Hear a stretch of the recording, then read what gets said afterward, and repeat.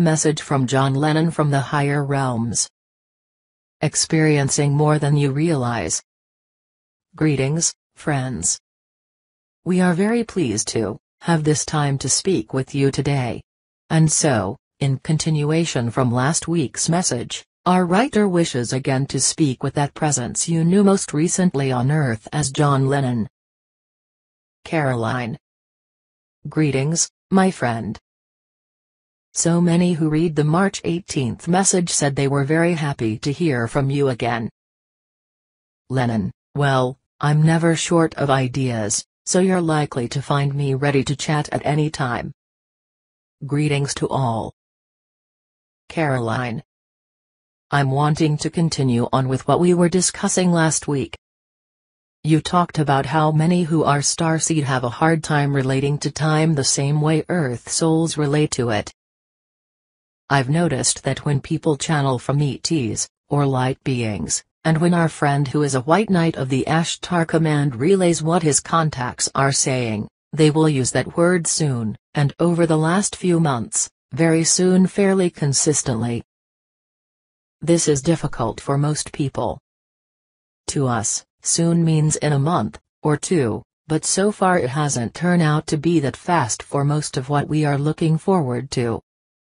Full enactment of NESARA law, and full disclosure of the ET presence hasn't happened yet.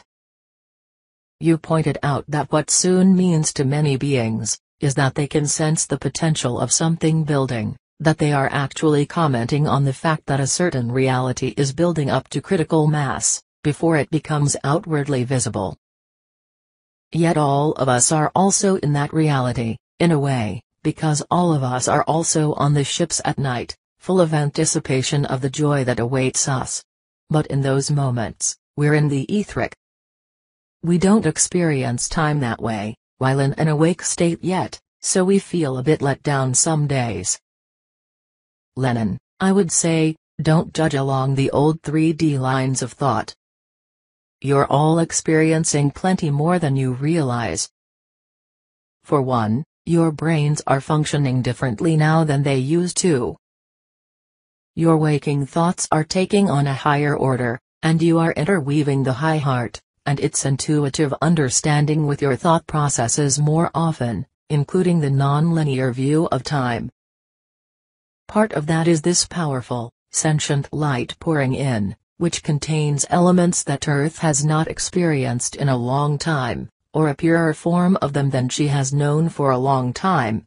And part of that is the fact that all of the energy in the cosmos has shifted to a higher order. Everything is ascending, and not only Earth.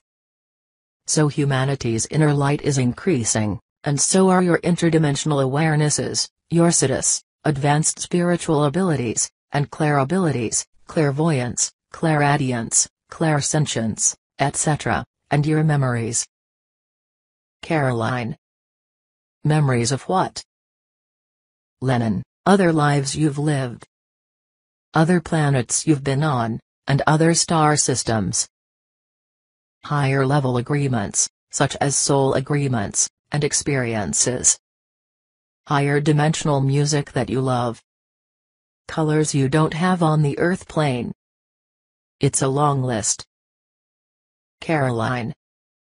You were saying last week that it's time we started living as 21st century humans, and accepted our birthright. What birthright is that? Lennon, you're familiar with the fact that it's not just your DNA, and overall consciousness that got downgraded when the current usurpers came in. With that, humanity's self-image also got trampled. You were creator gods, and goddesses, but over a few centuries, they managed to grind humans down to where you felt that life just happens to you, and that you had little to no control over your reality. Caroline and now we are realizing we create all of our experiences, yes. Yet we are still subject to the astrological alignments we have no control over. No say on how long it will take the universe to evolve. Lennon, it is true, even given that. You are still creators, because how you hold those issues in your heart mind. determines much of the quality of your day-to-day life. You are the universe, that's the part you lost, and now you're regaining it. Caroline. I wonder how long it will take us to get that back. Because most people are given very clear specifications in childhood about who they are, what's possible for them, and what life is like. We spend hundreds of lifetimes on this earth, most of us, hearing very early on about what is not possible for us, so that over time, even the most forward-looking child is squashed into denial, and a very small self-concept. Lennon, these energies are reversing much of that. Much of awakening means remembering. You are rejoining with lost aspects of your consciousness, and even bits of your soul held in other realms. You are all healing the fracturing of soul and heart-mind, suffered over the centuries. Caroline. So now I want to ask, what's that got to do with the oncoming full disclosure? Lennon, everything. Because as you reclaim your place as children of the universe, and not only children of Earth, you begin to see that it's not only the world that's your oyster, but the all that is. Caroline. I wouldn't know what to do with endless possibility. I'm just thinking in terms of, how do we finally end wars on this planet? How do we get everyone fed, and housed, and assisted with medical issues? How do we create fair government structures, and oust the frauds, and deceivers? My interests are more down to earth at the minute. Lennon, and that is best, because. Of course. You, and your light bearer friends are full of love, and concern for Earth life. But everything is intertwined with everything else. Once people begin to understand that they are not alone in the universe, and that they can accept help from the star nations, that they have family amongst them, well, that changes everything. Then the small self-concept dissolves, the lies, and false programming fade away, and the true face of everyone, and everything emerges for all to see. Caroline. Then we really remember, we remember who we are, and who we're meant to be. Lennon, absolutely. This goes beyond what people image as individual, personal manifestations. This changes the whole playing field. Because now you're in the quantum. Now your reach extends out as far as your higher good will allow. Caroline.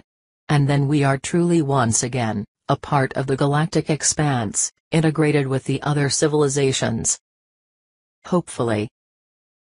Lennon, they welcome you. We all do.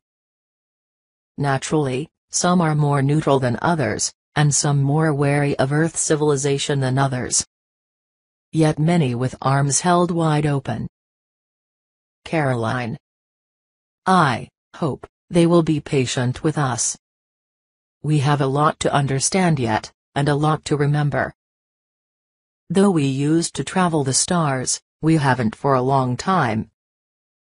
Lennon, it will all come back to you. In a sense, you never really left. Caroline. Thank you, my friend. That gives me hope that we are nearly there. Lennon, and so, it is. Can you grasp all this as real in your heart mind? Then you are already there. Namaste, friends. We bow to the divinity within you all. Channel, Caroline Oceana Ryan